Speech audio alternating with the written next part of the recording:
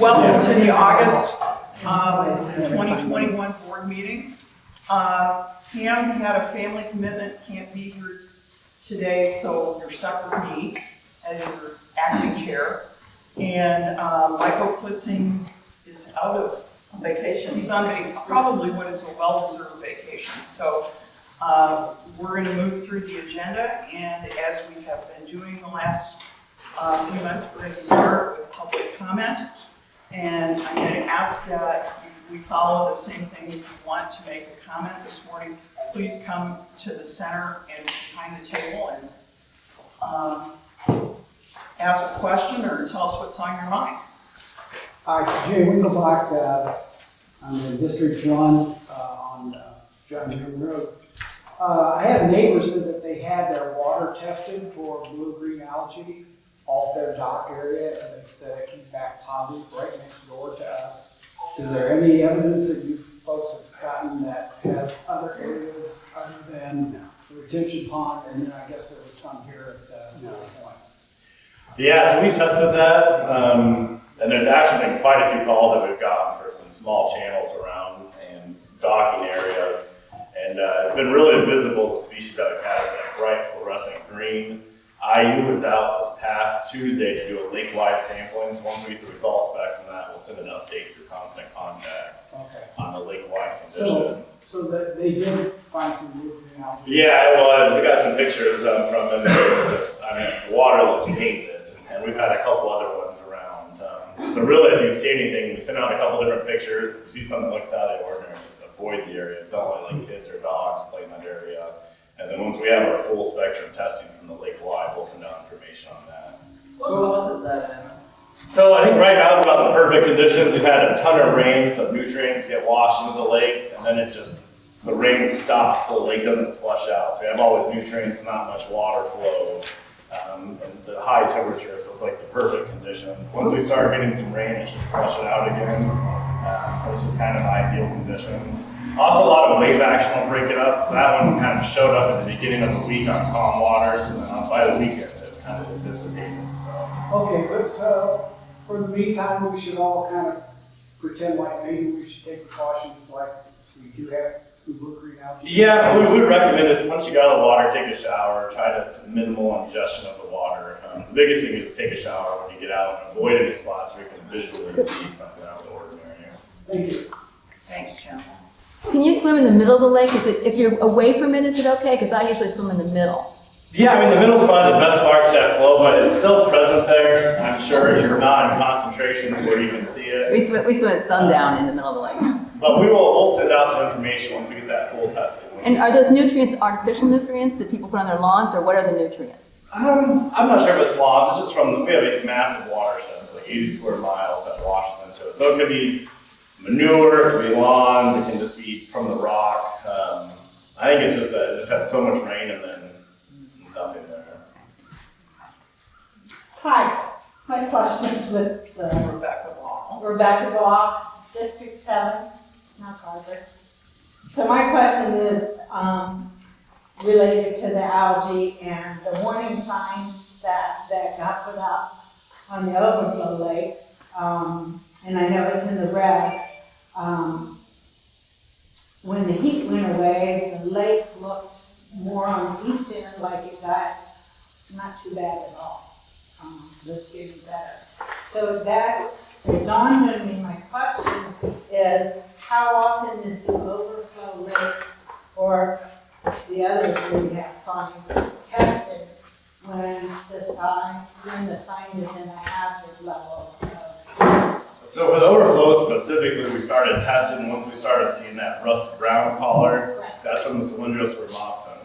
Um, so we tested it, and we waited a couple weeks and tested again. So until we started to see that dissipate, um, we'll test probably bi-weekly down there. We test bi-weekly at the lake, and then for the, the full, or at the beach, and then for the full lake, I think it's three or four times throughout the year, but if we suspect elevated levels, we'll increase the testing on that. okay, so did I hear you say that you test bi-weekly? At the beach, we test bi-weekly. Okay. And the pond we test once we start to see the bloom, and then we'll continue testing. And the last time we tested it was at over 800 thousand cells per milliliter, which is about eight times the state threshold. Right, that's when it was Yeah, so we'll leave that up there until we start to see, uh, they tested this last time, last Tuesday when we were there. Um, so we'll continue the testing and then it'll probably stay until we start to see that dissipate there. at. Okay. But, Yeah, I didn't know how often it kept and changed, the sign changed. Uh, And where's the sample taken from? I think In it, relationship to the two culverts, the big one and the little one. I'd have to ask IU on that one. I'd have to ask. I believe they take them from the causeway there, um, but it's pretty uniform, that bloom throughout that, that entire area right there. You can see the discoloration of the body of water. Well, I can see the, um, coloration, I guess my question is, it, it seems like more toward the east end where I think it might be deeper. It was not as severe as closer to the west end. So I, that's why my question, and along the, um, along the, where the water is to the ground, those areas too are really bad, so, you know, when you go out further and deeper, is it, Generally, the more volume that you have, it can be a little bit better. Um, that's why we wanted and put that sign on the west end, right, where that kind of people could pull in there with canoes and kayaks. Just because that's where the general public enters the area, right? okay, So. okay. Thank you. Hi, I'm Teresa Sims, and I'm in District Seven on the, uh, overflow area as well. And, um, I have, uh, got a petition going. I don't know if anybody's ever contacted the county. I believe that culvert in twenty seventeen was replaced with the small, the big culvert was there, was replaced with the small one at a much higher elevation. And I don't know if you were here then at the time. I don't know if there's any correspondence with the county and saying, hey, this is the wrong size culvert, why are you doing this? I don't know if you have anything like that, that might help with the petition. But I'm asking them to restore it to its original large size and, um, and depth. That'd be great. Because, uh, last time, last month, there were a lot of people who got up and talked about how their places were flooded and how it wasn't receding fast enough. And on our side of the lake, the water stayed low over there. It stayed low, and you can see the other side, where everybody else is, rising and rising and backing up and backing up more on those properties. Well, it can't get over there. It can't get over there until it reaches way up high to that little bitty culvert, and then it starts to spill spilling over over time. So it would relieve the rest of the lake if they could use, if that volume could be used, and it would get over there faster.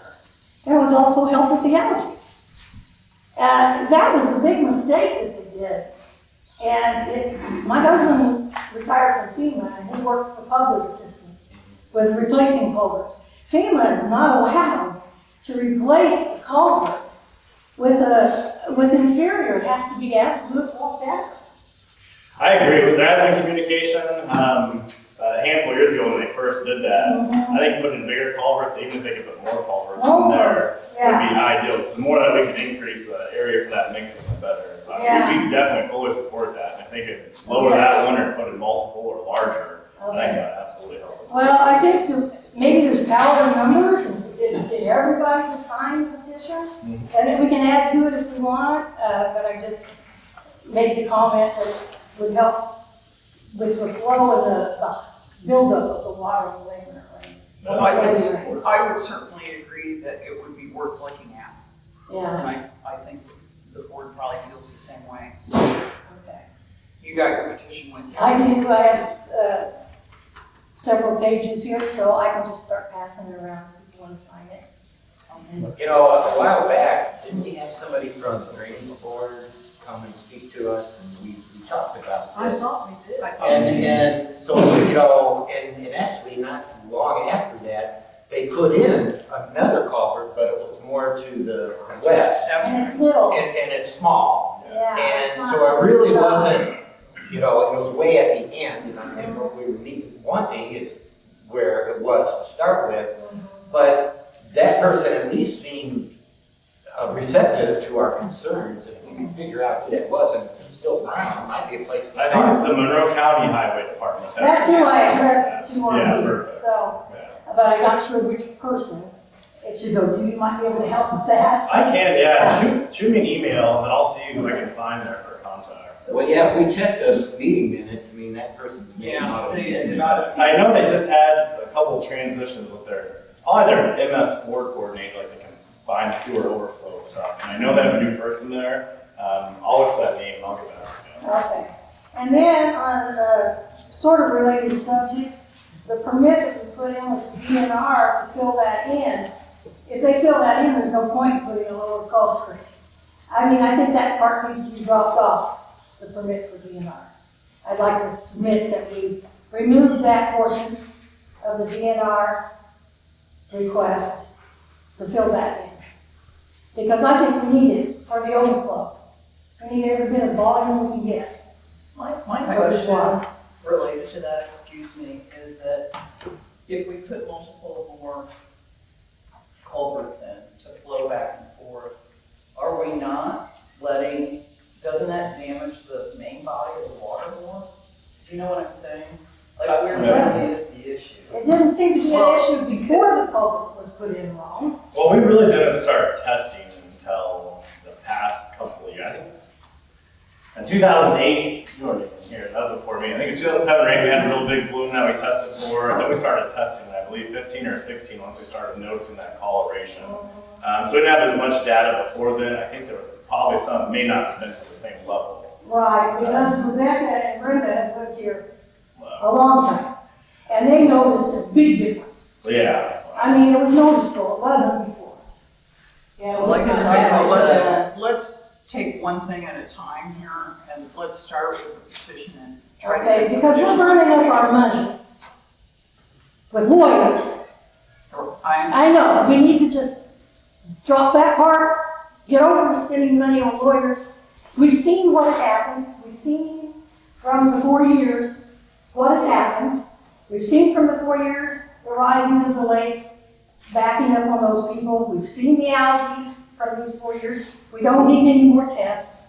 It- it- We know. okay. So I, I think we should, I think we should take it off. of Well, there. I'll get the Leave it over there. information, at least with MS4, and we can start there. We will start with that and see where we get to. So just a quick question, so your petition is is simply for the culvert Culverts. and not for the issue of, uh, Filling it in? yeah, Well, that's not anything to do with Monroe County.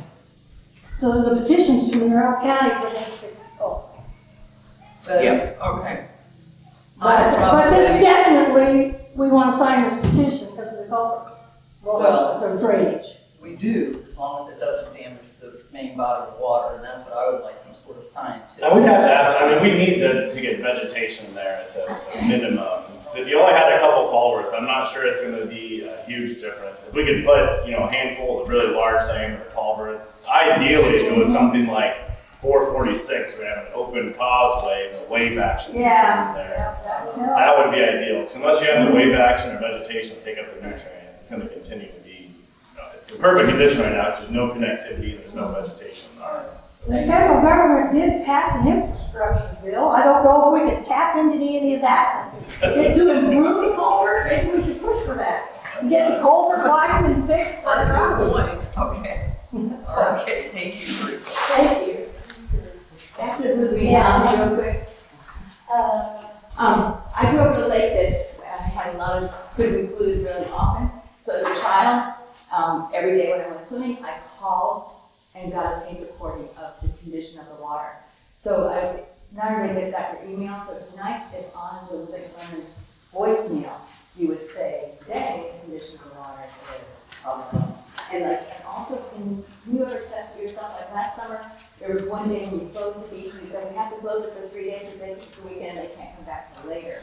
Is there some way that we can test the ourselves, so we can't have, is it good, not wait for them to? Not for the algae themselves, because they have to send off to a lab, a specific type of algae. Um, so it's, it's hard to do every day unless you have really good equipment or scientists on staff that can identify that. So The one reason we closed it before was for E. coli, and that's because we had three weeks in a row with a high range, and E. coli counts are real hard, real high. So, but we're trying, we're hoping the bi-weekly will at least, you know, keep us as informed as we can. So if you could inform us on the voicemail, it'd be nice. We're trying to get a new phone system. Uh, Ron? Couple things. First, congratulations.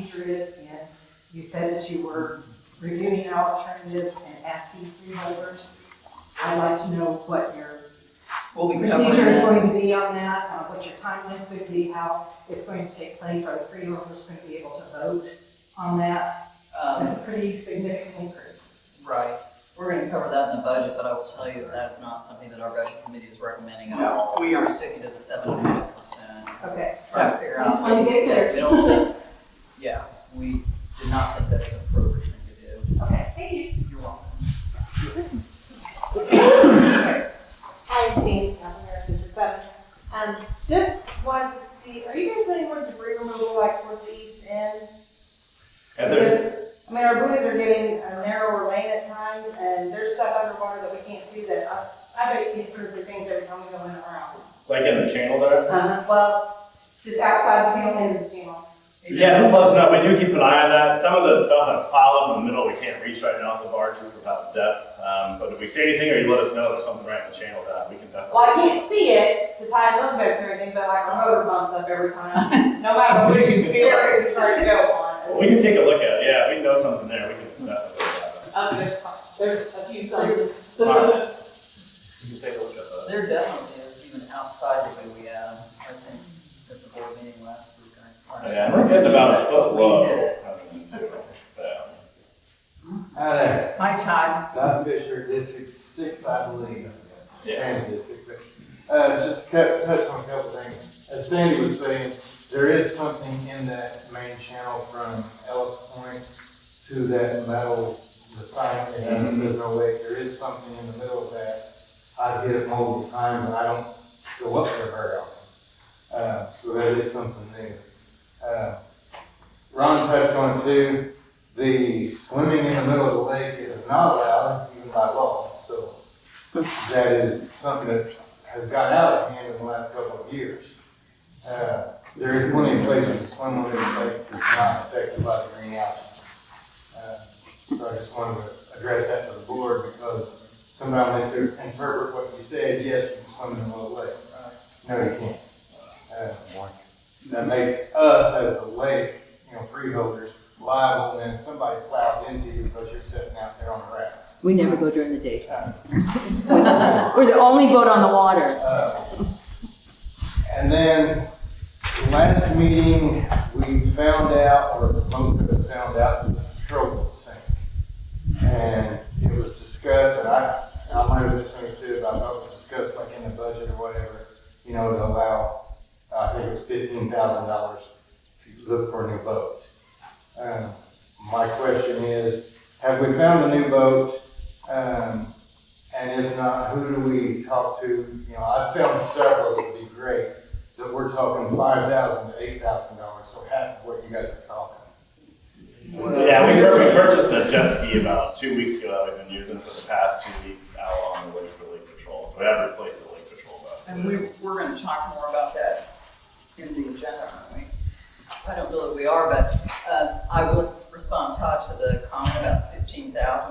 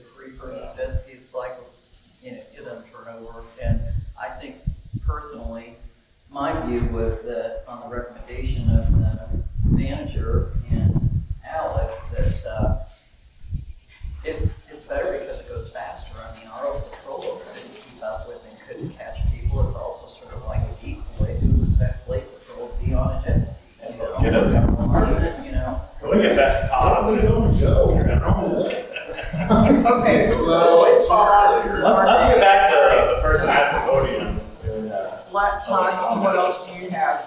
I guess on that aspect, man, uh, because now I'm hearing, you know, the purchase. Yes, I thought it was purchased both. I guess that's, uh, you just, you know, she was in that. As to a jet ski, I. Recommendation. Recommendation. I. That was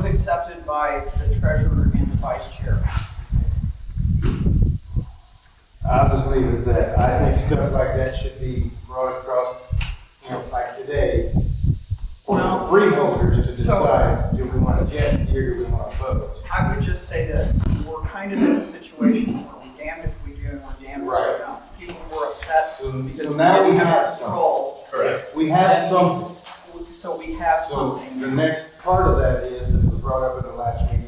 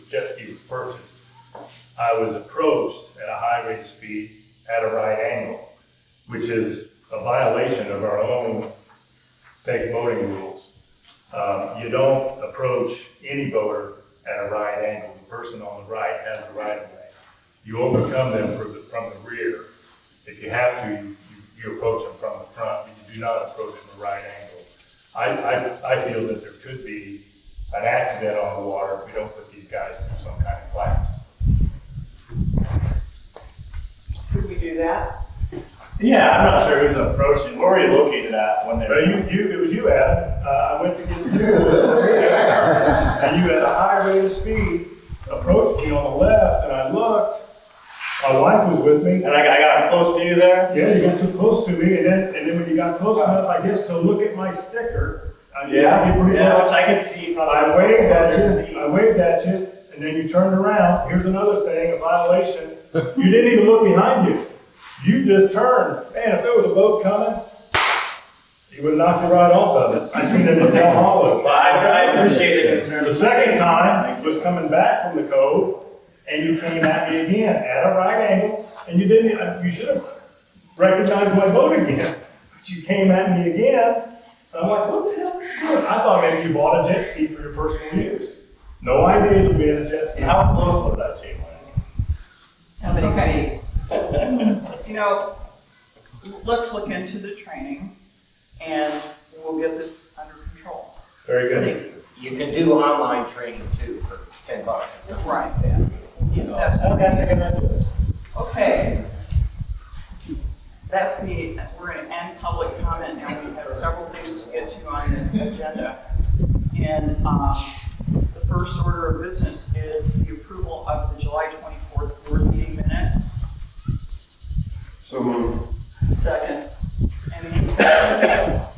Um, we did talk about an action items list at that meeting. Which Adam's gonna cover in his report. Oh, okay, very good. All right. Any other discussion? All those in favor of approval of the minutes, please signify by saying aye. Aye. Aye. Those opposed? Motion carried. All right, Debbie, treasurer's report. Okay. Um, looking at the agenda, and it doesn't say anything about the financials for July, so I'm gonna start with that anyway. Uh, as of July thirty-first, two thousand and twenty-one, um, we had four hundred nineteen thousand dollars or so in our general checking and savings accounts. We had, um, cumulative maintenance money that was restricted for that, along with interest earned on the savings account of about hundred and twenty thousand dollars. And we still had the nine hundred eighty-eight thousand dollars in our construction account that was from the bond money. Uh, fixed assets, as we discussed, at a cost, but we paid for them at a little over a million dollars, so total assets are two point six million, although I would not mistake that for that being worth two point six million. Uh, current liabilities, mostly just related to payroll, that's all we ever have, seventy-four hundred dollars. We, uh, made one principal payment on the bonds, and so we're at a million, one seventy-five. So overall, our total equity is one point four million dollars. If you look at the July activity itself, uh, we had total income of thirty-eight thousand, one hundred fifty-two dollars. We had expenses of hundred thousand dollars, so that left us with a net deficit for the month of July of sixty-two thousand dollars. Some of the bigger items, and I think timing issue with the, uh, payment of the lake weed treatment, that was something that hit this July that hadn't previously, that had hit later in prior years, so that alone was thirty-two thousand dollars, and we had another insurance payment of about nine thousand dollars, so those were some bigger items that we paid during the month of July. Um, if you look at, uh, where we're at this July, January to July versus last January to July, um, overall, we're at net income about nineteen thousand dollars. Last year, we had a net income of about hundred and forty-three thousand dollars. That's a change deficit of about hundred and twenty-four thousand dollars. And again, we got the lake weed treatment, we had the dam spillway inspection, um, we had significant expenses with regard to our consulting engineer. The bond issue, those kind of things that have been mentioned in the past. There are some graphs that are included in the board materials, which I think give a, a big picture of the details that I've already given. Are there any questions or comments on the July financial statements from the board? No, any approval or anything? Okay. Alrighty, next, um, I guess I would, I I would like to ask for approval of the July claims. So moved. Second. Any questions on those claims? I do have one, but I, I'm go ahead and get them approved, if I can come back to it. Check number five four oh three to Nate Anderson for fire hydrant path clearing, five hundred and forty dollars, but we can approve them and I can come back to that. What do you want to come back to on? Okay, Is uh, whether- well, I guess I wanna know why the office didn't go clear the area around the hydrant, why we had to hire somebody to do it. Nate does all of our maintenance around here, and they have brush hogs and tractors, um, so he can do a lot more substantial job than mechanical clippers. So we hired him out to go clear. This is for the fire hydrant on On Stillway Stillway. Road. Yeah, so they brought him the brush hog and cleared out, cleared out the trees on the side and everything. So they did a very nice job down there. So do you want me to bring up now the, uh, the pumping of the upland side, or do you want me to bring that up in the manager's, uh, report? You're gonna cover, you're gonna talk about the settlement project, right? Yeah. Why don't we wait till then? Oh, does it relate to any of the vouchers that we're asking for approval? Well, uh, just one other question. Were there any, uh, uh, cash payments that we made this month? Because I understand that, that there may have been a, you, you, uh, told the freeholder that you needed cash for a riprap job, and you needed to pay the, the riprap driver cash. So When was there- this? When was this? This Tom? was, uh, May of twenty twenty. That's not. Oh, this is over a year ago. We've already covered all that. We've looked at that. We can talk. I haven't covered it. Yeah, this this is what you brought up to the auditors with, with a concern about me. Um, we take. Be careful with your we tone, take- you're talking to a director. We take payment, exactly, I am, I'm being respectful. Let's calm down. We take payment in advance for private work, even at Solomon Harbor, we required a check in advance. for A check. This particular person, the railings, wanted to pay for it in advance. Ah, ah, they had ah, cash on hand, That's not true. you had cash on hand and a check. No. Yes, it was true, you No, said. Adam, you told We me said I you had to was- have cash, my husband had to drive to the bank to get half of it in cash. The other half, the other half of that was in a check, and the Yes, receipt but that we don't- sent was don't for say check I and requested cash. it. I didn't. Can I just say that it was, uh, as the treasurer, I looked into that, it was all deposited. That's Nobody fine. pocketed And they received, they Don't received the that. receipt for the payment, which we require. Why was in it, why, why did he, why did he tell them that they had to be in cash? That's not correct. That is correct. Okay, It's not. so for the moment, we're gonna agree to disagree. No, that's the truth.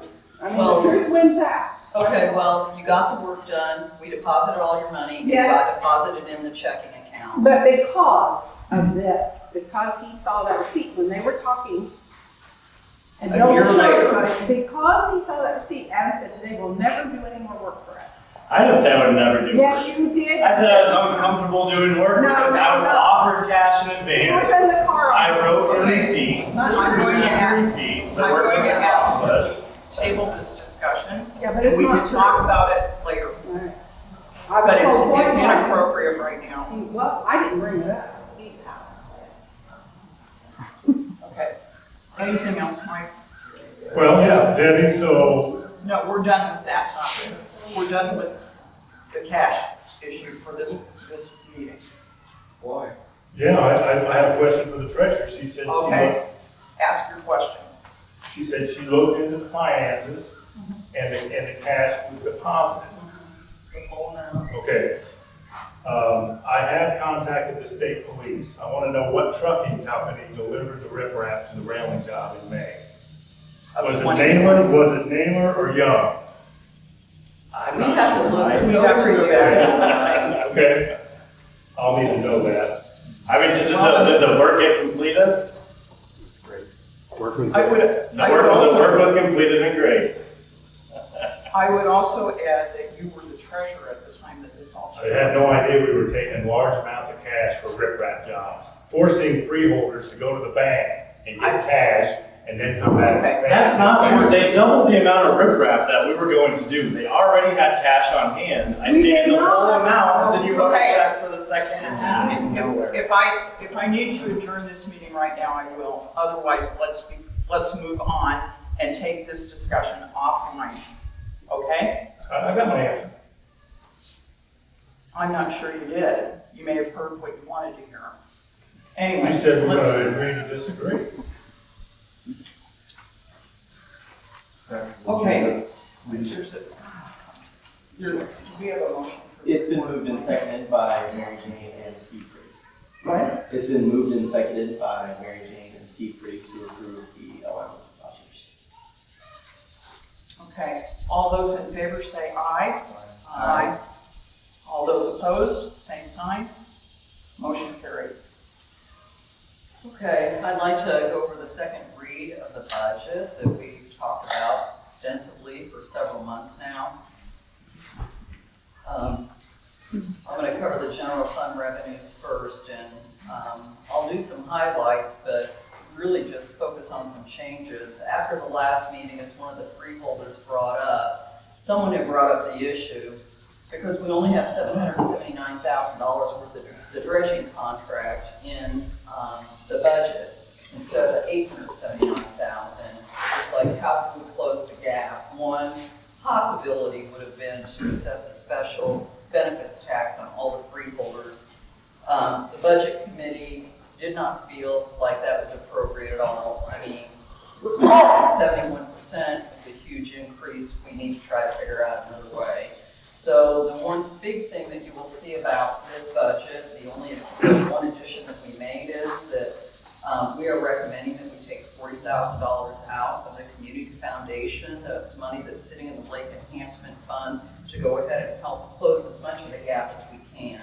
But we're gonna have to just kind of trail through and see exactly what the earthworks cost us, if we can save money on that.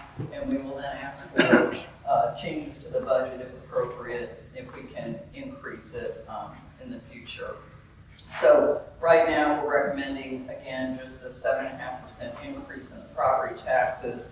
We have looked heavily at the permits and the fees and have increased, uh, those as well. We increased the park admission, I'm a little nervous about it, but, um, you know, just because in twenty twenty, we got eighty thousand dollars and right now, you know, we're tracking a little bit further behind than where we were last year, but we're gonna have to just keep an eye on that, but we basically budgeted what we had How in much is it? twenty.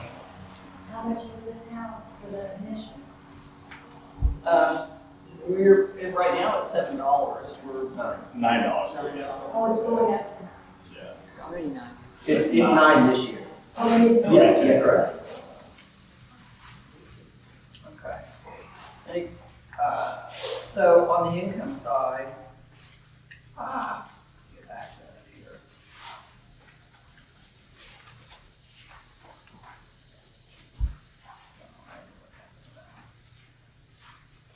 Um, on general fund wages, total wages are up three point eight percent to two hundred forty-six thousand nine eighty-six. Uh, total supplies are actually up only five hundred fifty dollars to seventy-three six fifty. Um, general fund services and charges, uh, actually are going down from two hundred ninety-seven thousand eight ten to two forty-four zero six zero. Um, part of that is we're the dam and spillway inspection that we won't have, we're not gonna budget for any cumulative maintenance funds, since we basically need to go use most of the cumulative maintenance fund to try to close this gap on the budget. So overall, that is down fifty thousand dollars. And on the capital side, we've just budgeted seven hundred seventy-nine thousand in twenty twenty-two. Um, again, hundred thousand dollars short of what the total contract would be to remove the full amount of sediment that they think they can get out of the lake. So with the addition of the forty thousand dollars from the community foundation funds, it takes our anticipated, um, uh, net deficit to, uh, six hundred fifty-four thousand one seventy, and again, that's with that capital expenditure, and we have the nine hundred eighty-eight thousand right now in the account, we will have that, plus the earthworks project in there at that time. Are there any questions or comments? Yeah, I have a couple of questions. And I'm not uh, knowledgeable as you can. But when I look at these numbers, there's certainly a lot of numbers coming out, and I thought that we just said we were $100,000 short of the dredging, the hydraulic dredging cost.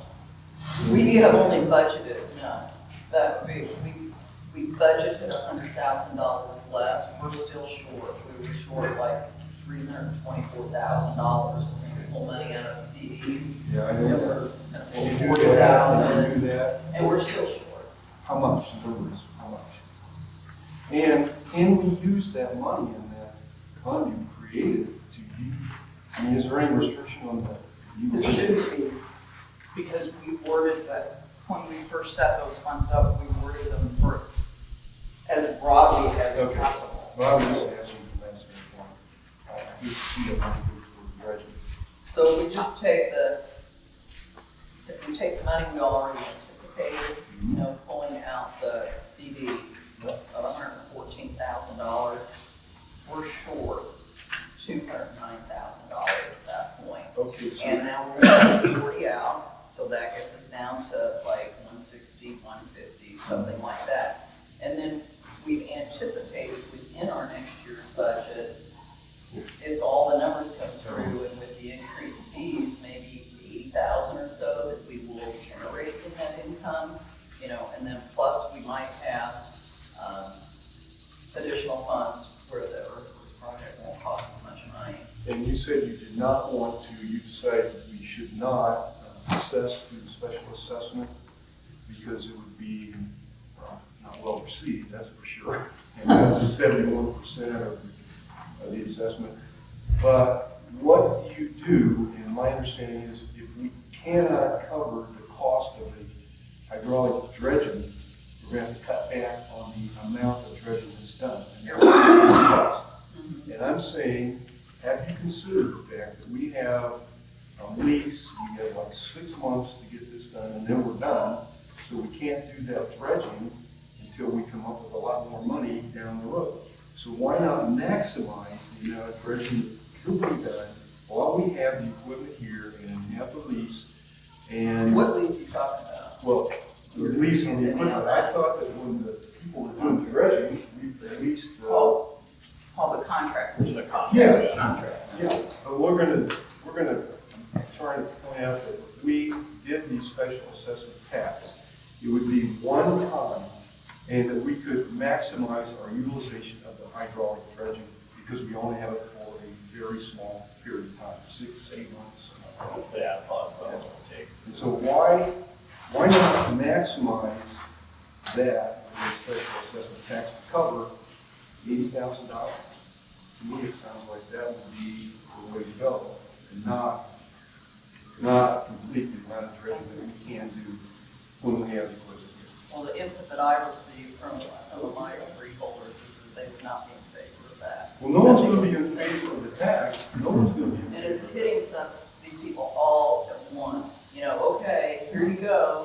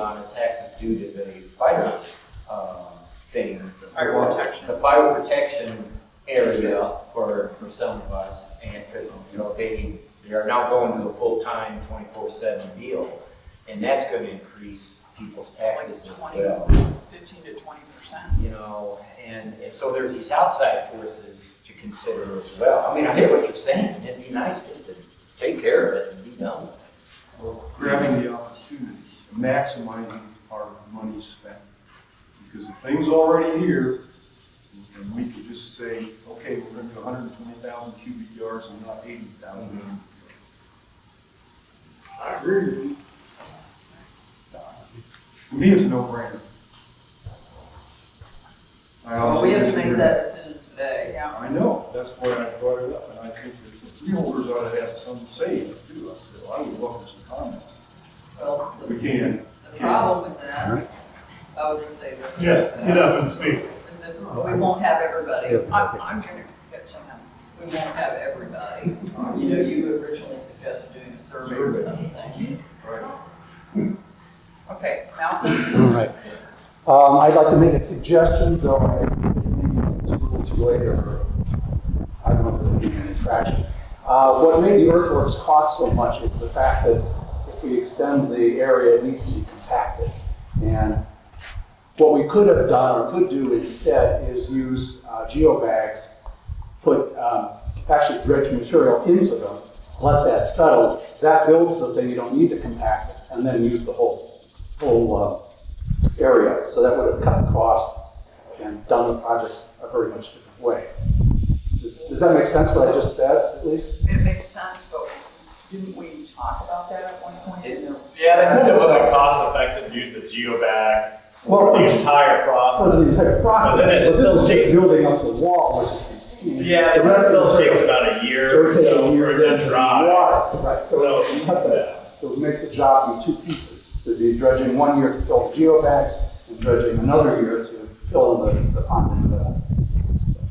And I'd like to uh, also talk about that. Um, For three different strategic planning committee meetings, I asked about what the disposal site would look like.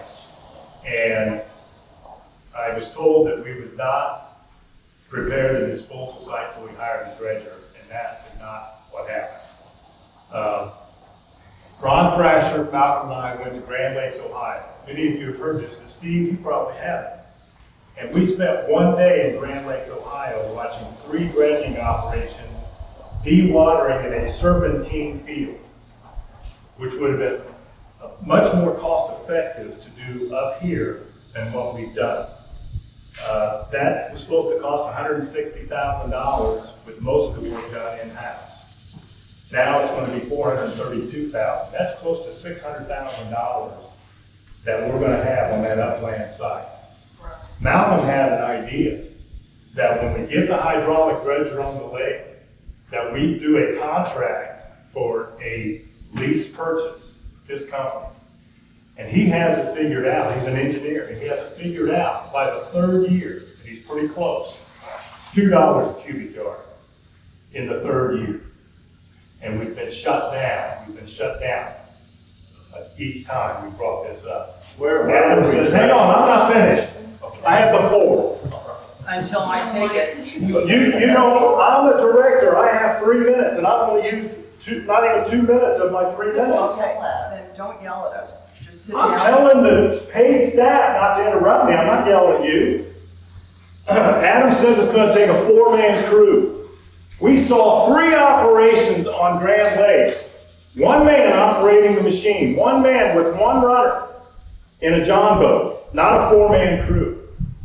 The operator was paid thirty-five dollars an hour for two hours.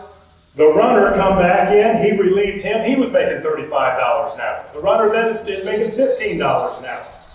The disposal sites were, were perfect. They were serpentine fields. They de-watered as they went through the field, and then they went through a gate, through a riprap field, and then back into the lake. Completely different than what we witnessed on July 28th of this year. So, he's got a great idea, but we've been shut down. And he's part of the, the committee that meets with the manager on this. But we've been shut down. I'm glad you brought this up, because you're not aware of this. And it needs to be, the, the public needs to be aware. That's all I have, Ms. Chair. I just want to add, I'm not really on either side here. I'm just, try- I'm on the side of what works and what works from an engineering perspective, so. uh, let him- Okay, so in, in the, in the art, you know, we have consultant and engineering, they looked at all this stuff. Right. Yeah, I mean, the thing about it, if you had a ton of room. That is not true. If you have a, the, the site was You're designed by Christopher Burke Engineering. Now who's interrupting? If you have, if you have lots of room, these serpentine sites work well, but when you're constricted to a little area, the thing about volume is, the more stuff you have in there, the less volume you have for sediment. So when you go with one large basin, you don't have these extra ridges, you can increase the volume that you put in there. You can't de-water. You can de-water, and that's why we have polymers in there. I mean, if you, if you have area, you can use the serpentine. And then we're looking at purchasing the equipment, this site's gonna be filled up in one year, and it's gonna take a handful of years to clear that out. What do we do with that equipment for those other three to five years, and we're getting rid of that sediment, and that equipment just sits Do there? we have other sites, the bottom truck, some of it? Gosh. Then it would include the sites had, we're you know on. what, we've had this, these conversations multiple times. We don't have, we do not have unlimited places to put the sediment. From the very beginning of this project, everyone, we, every consultant we always have talked to said, the thing that will kill you is not the money, it's not the equipment, it's where are you're gonna put your dirt. And we have very limited places where we can put the sediment. So we have, I'm sorry, Steve, I'll, I'll let you speak in a minute, but we have gone through a process. What Mike is talking about is stuff that we, we talked about three and four years ago. That we, after, as we've gone through the process, we've learned from the consultants that we've engaged. We have learned from, um, the, the people who have volunteered to work on the project. Um, and we have come to this solution for this first hydraulic dredging project. And I, it is the first. So we'll we'll have to figure out after we do the first project, how we will raise more money to do ensuing projects, because we know the sediment's gonna keep coming. But I think, and I, I'm sorry, Malcolm, but I do think we're a little late Yeah. to be having that discussion now. Kevin? So, um, I think Steve's point makes a lot of sense, that we're gonna, you know, be right at the end, and we need to close this gap. I don't think a special assessment's the appropriate way to do it, but I do believe, uh, and I'll just talk personally, if somebody came to me near the end of that project and said, hey, we're fifty K short, you wanna pitch in and donate here to get us over the, over the finish line, because we've got a, a bathtub that's seventy-five percent full, we've got the equipment on the, on the, on the, I would write a check. And- Not for the fifty, though. Not for fifty. But I'm, but I'm. more than a hundred. I'd write, I'd write a sizable check to help us move to that. And I think there are people on this lake I would do the same. that would contribute to that. And so, Steve, I think you're right. We can't let this opportunity go away. But I think there's another way to do it, and it's not necessarily in the budget today. It's a year from now, when everybody's beginning to see the dirt leaving that east bay, starting to be usable for boating and all that other sort of stuff, and there's gonna be some momentum around this that says, hey, this is, this is a good deal, let's not lose the opportunity. And so that's my ten cents is. And we also know there's a lot of variables in quotes. And so we don't know to the tenth of the dollar what that earthworks contract's gonna come into. We don't even know whether the, the dredging contract's gonna hit exactly where it is, because they've got provisions for surfactant and a whole bunch of other stuff in there. So I think the smart thing to do is pass the budget kind of the way it is, and know we have a bogey for the end of the year, and look at the freeholders to kind of fill that gap, but it's not really through taxes. I think it's through donation. Ron? I- I'm a little confused on the, the dump site and that we're short money. We have to have engineers, like, like, we're told we have to have engineers for Todd's possible dump site. We have to have engineers for a sediment trap on Possum Trunk.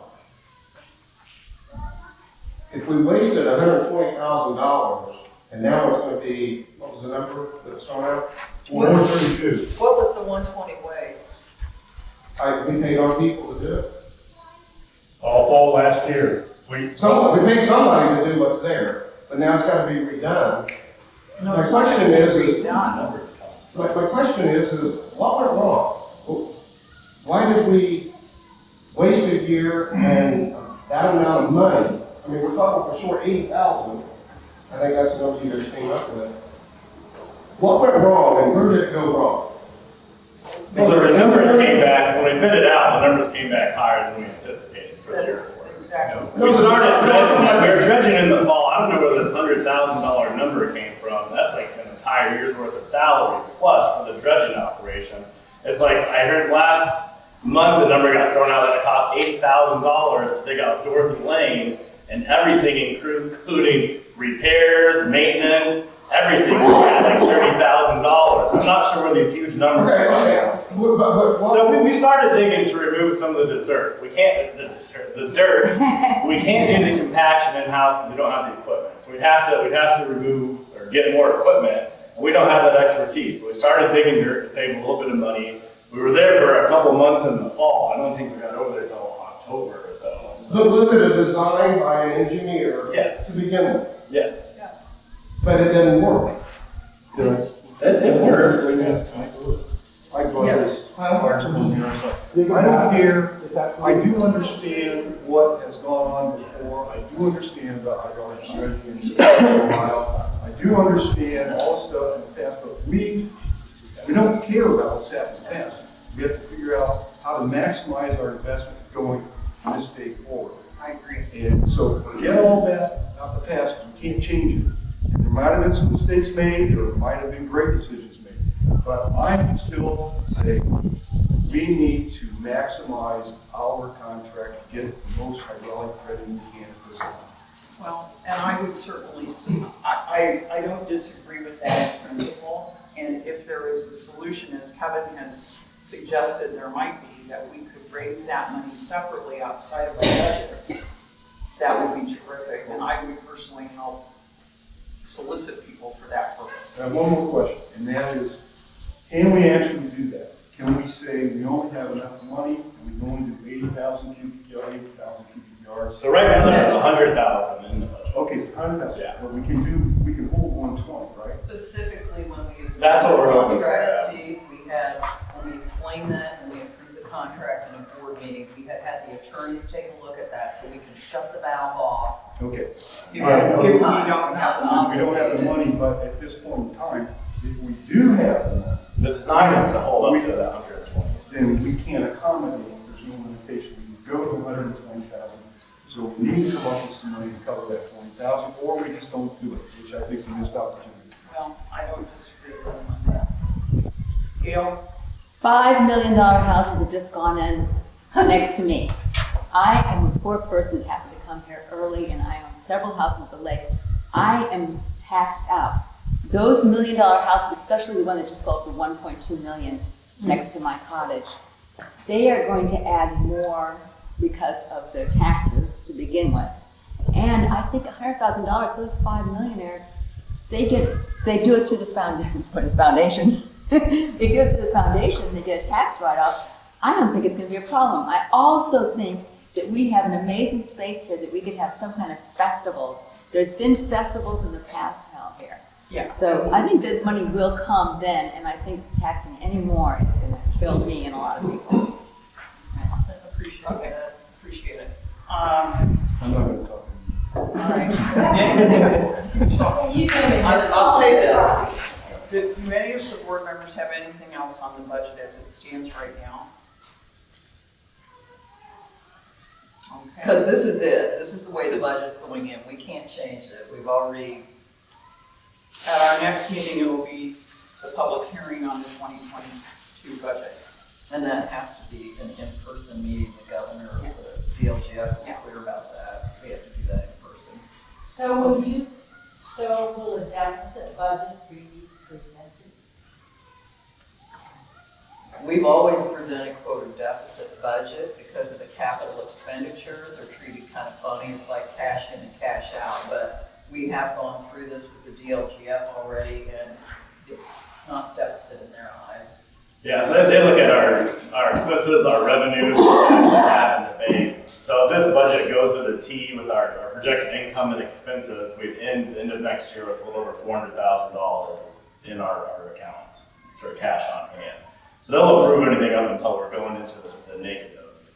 Um, so that, is what's being presented and has already been, not approved by the DLGF, but. For the board members, I guess there was one other small change, instead of saying we were gonna spend fifty thousand out of that cumulative improvement fund, we're only spending forty-nine thousand. And that's kind of just because of the way the cash works out and what we anticipate maybe, you know, assessed values will be and what our tax take will be, so. Anyway, that was one other small change, but, um, Okay. Adams, Anything else on the budget, Debbie? I don't think so. Okay. Managers report. All right. Let me look at some of the stuff that we went on um, last time, just like for this continuing topics. Um, again, that at Dorothy Lane, I figured up all the all the costs, staff, repairs, maintenance, everything for that entire time frame that was up there. Um, the cost was right at thirty-three thousand dollars. So I heard there's like an eighty thousand dollar mark being thrown out there, and that is not correct.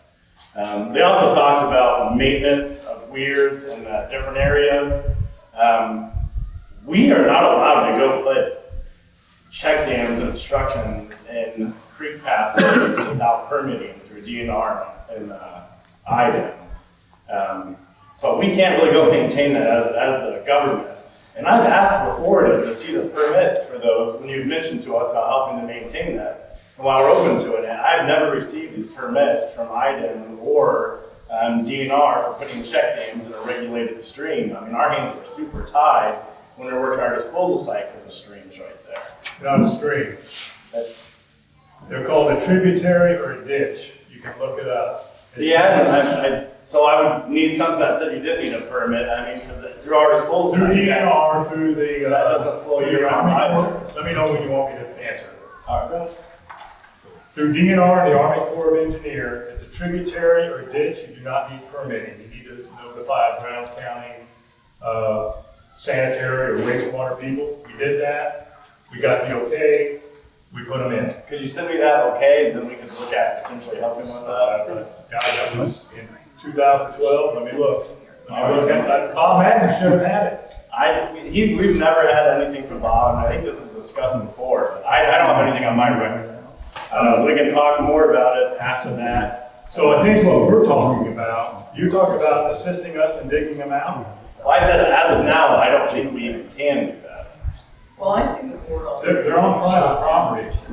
It's a, private, there's still a degree of connectivity. I mean, our disposal site is essentially private property. We're not asking- It's Connected to the I'll lake. wait till you finish. Well, I'm just, I'm gonna move on from that, but I, I know I see the degree. Hang on, I want to make sure that, that, that this is clear. We don't want you to dig them out. All I did last month was ask for assistance and money. We have the homeowner, the, the landowners digging, will dig them out. They maintain them. Uh, so we're not asking the conservancy to dig them out. We asked the conservancy to assist us. We had an account set up, uh, Solomon Harbor account set up. We asked for assistance, uh, for that because the two floods nearly you know, bank- bankrupted the, the, uh, the HOA installment. That's, part. I would, I would just like to, to see the, the approval. Since you weren't at the meeting, Yeah. let me say that, let me say that, um, Mike, what you asked for was, would we approve and aid you guys in spending twenty-five hundred to three thousand dollars to do whatever you needed to do with those weirs? And I asked how many freeholders is it, and you said it's ninety-six. It's like thirty bucks a freeholder. We cannot keep helping people with their private areas. This is why we don't have the resources. No other lake does that kind of thing. So the, the board basically, and that's at which point that you said that we spent eighty thousand dollars on six freeholders at Dorothy Lane, which we just, Did which not. we did not. So I'm just saying, that the board wasn't I thought they agreeable to that, so you don't need to be offering that. So I, I mean, I just, I've never seen any uh, authorization for these, and they are regulated, so I just would like to see that. Um, another thing that was brought up, uh, increased boat parking, we actually have that in our master plan, this cove over here, to put a gangway style docking system, um, in the plan, and ultimately, I think that'd be a really good idea to separate it from the beach. Um, so I think we need to keep with the plan on that, and as we raise the money in this cumulative improvement fund, we can look at doing improvements like that. But that, that is in our plan right. What would be the timeline on that? My granddaughter is four, my grandson is one. I mean, can we get that done next year? Could you drive down here? We don't have, we don't have. Drive? I mean, there's no parking there, we can fit about six boats, but it's, we, we need money for it, it all comes back to the money. It- And, and setting priorities for, our- this is our big priority, the, the sediment project. And we are working on the subleases, um, this fall, we'll get some more information and trying to figure out exactly how many subleases are from other districts that are in different districts and locations. Uh, so we work on that information this fall and come back to this once we get a little bit out of the season for there. Um, and then I just wanted to bring up that we do have the September twenty-first mediation uh, about the overflow pond usage. Um, so that'll be coming up in the next month. So moving on, we have um, our barge operations update. So far, we've removed 8,308 yards. Um, We're almost complete with Les's area right there. We're probably just a couple barges away from being all the way to the culvert there on the south shore by Richardson Road. And then that would complete the LLCD priorities for this year. Um, We still have private work coming in, so that- that's pretty good. Our vegetation control will be spraying on August 30th for the lotus and emergent vegetation. So we'll be out there on August 30th. Again, that's a two-part spray. We spray initially, um, and they come back in about two weeks and do the second kill on that. Um, It's looking like we're not gonna have to to spray as much line. It held pretty well from last year, and we generally do get a multi-year kill uh, from the chemicals that we use. But we'll be coming out to spray what we need to on August 30th. The sediment management project, the earthworkers will begin this month with that. The earthwork, the plan is to be done with November. Um, so we should have equipment moving over there pretty soon. Um, this will be, this will be very nice. We can get, get rid of the eyesore that's there now and, uh, get the the experts out there to accomplish this. And they said probably by November they should be done. Um, so that'll be nice to actually have that on the ground. We have started our audit for 2019 and 2020. Uh, We're currently giving them the materials right now for the audit. I think their deadline for the finishing is December 30th. I don't expect it to take that long. Is it December 1? So December is their deadline. It usually doesn't take that long. Um, I really don't foresee any issues with that. It's a pretty standard audit. We have audits every two years for the government. Um, We've never really had any major issues at all. And then finally, I have a 2021 drawdown discussion. Um, I've been receiving actually a lot of requests for drawdowns this year for maintenance around docks, shorelines, and I'm not necessarily against a, a small drawdown because it would allow us to look at any current stumps, major woody debris, that kind of thing in that eastern field. So if we only did a, a two to three foot drawdown, we can get up there with the boat, we can look for stumps that we need to remove with our equipment in the springtime or yet this fall. Um, so I would, I would be in favor of doing a, a two to three foot drop. I really think get where most people can do some work and then it'll allow us to see what type of stumps and everything are still in that east end. What the, So we generally start after Thanksgiving for the drawdown. So, but didn't, you know, previously we kind of decided that was not good for sedimentation, that, that it exposes mud flats, and then when it rains, it just uh, really goes. It, it does, and um, what we've said before is that we'd look at doing every handful of years just for maintenance needs. Yeah. And I don't think we've done one since 2015, The 2017. last time we did a drawdown was for the railroad. So 2017 for the railroad. Kevin? What's the typical drawdown versus the two foot you're pro- proposing? Usually they propose like a, a four foot, like a. So half of what we normally was a two, that's it. Yeah, so seven is a two, this with the railroad trestle, I think generally it's about a four foot, um, I think two should be able to get rid of that though. That would be a good time to. I'd have to get, uh, with, uh, my people, uh, at a pre-meeting, I guess, and try to get their, their thoughts on it. I do have the largest district in the, on the lake, so I can't really answer for, uh, ninety-six people. I'm glad you remembered that, Debbie. Numbers, Numbers are for business. Telephone numbers. Yeah, You know, I was just curious, you're talking about a drawdown, and I'm thinking, gosh, the water is down so much already, isn't it enough to do the fixing that needs to be done when we have no. We're, we're additional down, water? I mean, we would, yeah, we're down about, we would only do two feet below normal pool. correct, yeah, so we got an additional We foot. wouldn't take an extra two two feet. additional feet that- No, and right now, we're at half a foot below, point seven. Yeah, so we would, Rebecca, we would not, we would take that two feet from the, what normal pool is. So if we're already a half a foot down, we won't, we would just do it a foot and a half. And really the goal would just be to get a visual, to see if any stumps are sticking up in that area that we're addressing. I mean, that's why I was thinking, is the water low enough now to do what needs to be It's pretty close, we can't get boats there. If we, if we were down about another probably twelve inches, we'd probably be able to see most of that area.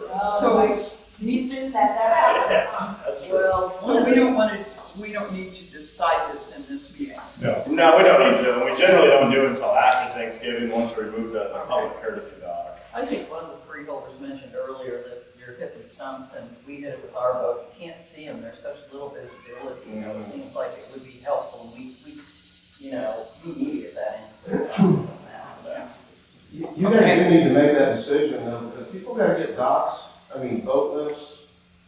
I mean, there's a lot of stuff that we have to do, prepare for dock repair, seawall repair, you need to So make you want that us to decision. decide today? You need to let people know, don't wait till. Well, we will, but we, we wouldn't do the drawdown before November. Correct. Next month, this will give Mike a chance to talk to his people, we can get some other information, we can make the decision in September and communicate it then. Would that be enough time? I, the last time we ran into this, people didn't get boat lifts out. I mean, if you're gonna do repairs on seawalls and things, you, you gotta schedule that, get the material, we all know you can't get material and stuff. How many, boat- how many dock removing companies do we have on the lake? Well, let's, Like three or four, I think. Because we ran into that problem before.